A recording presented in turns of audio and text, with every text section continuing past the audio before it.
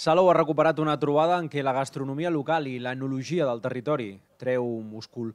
Es tracta del Gastro Wine and Music, que va celebrar la seva segona edició, la primera des de l'esclat de la pandèmia. L'Associació d'Empresaris d'Hostaleria i l'Ajuntament van proposar a la Torre Vella les propostes culinàries de 13 restaurants que van oferir 6 degustacions i 20 shows culinaris, a banda de dues postres. En total es va comptar amb el maridatge d'una vintena de vins i caves de primer nivell per demostrar que el turisme de sol i platja també pot anar molt més enllà gràcies a la força de la gastronomia de casa nostra.